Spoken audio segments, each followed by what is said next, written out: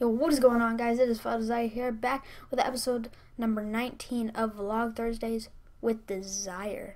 Uh, how are you guys all doing today? Um, had a good day at school. Uh, yesterday, I got my uh, math test back, and I got a 53 out of 52, which is a 101%. Got an extra credit, uh, extra credit thing, or extra I got extra credit with one point, so I got a 101%, which is awesome. Um, I will also, uh, you guys probably didn't know this, but um, I will probably, hopefully, um, hopefully, hopefully, I'll be going on the Washington D.C. trip that my school has every year. Um, it's kind of pricey, but uh, you know, my dad did it when he was younger, and he uh, thought it'd be a really good experience for me, and I always wanted to go to D.C.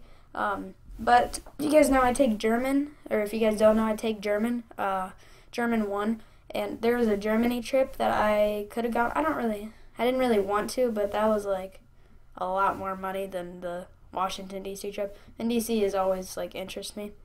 Um, but today at school we had a like a guest speaker, uh, and the speaker's mom was a sur- what was a Holocaust survivor, and it was really cool learned a lot of things about uh, like the Holocaust and uh, like been watching like an Anne Frank movie like in uh, school, which is actually really cool.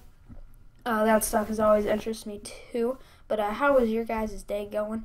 Uh, mine was well, as you got as I said earlier, and um, I'm probably I probably will make a CS:GO video this weekend. Uh, CSGO is really fun, and I'll probably record it for you guys, and then maybe even stream it. Maybe take a clip from my live stream and uh, upload it. That'd be really cool. Um, that's kind of all I have for you guys today. Quick little vlog, like always. Uh, I'm not sure if I'll be playing it all tonight.